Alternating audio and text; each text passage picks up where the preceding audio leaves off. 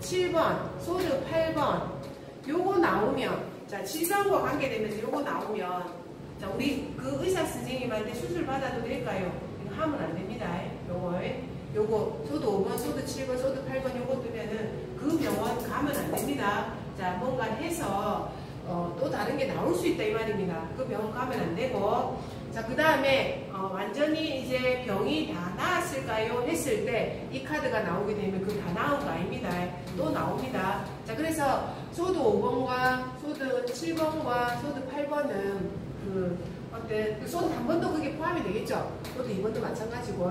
자, 근데 이 세 개는 미진한 것을 의미하거든요. 미진한 것을. 미진한 것이나 우리가 모르, 모르고 있는 것을 말하기 때문에 자, 어느 의사 선생님이 좋을까요? 내지는 이 선생님, 의사 선생님 믿고 수술해도 좋을까요? 했을 때 요 세 개 나오고 수술하면 안 됩니다. 그거 가서 하면 안 됩니다. 건강운에서 보면 하면 안 되고 그 사람의 실력적인 면이라든지 믿어서는 안 된다 이 말이에요.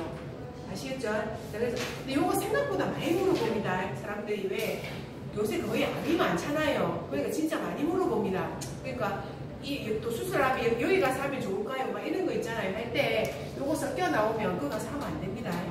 아시겠죠? 어, 어. 자 그래서 요게 sword 5번, sword 7번, sword 8번이 건강적인 면과 결부돼서 나올 때는 어, 좀 많이 치명적이다. 그리고 안에 근무가가 있는가 어, 살펴봐야 된다. 자 그렇게 보시면 됩니다.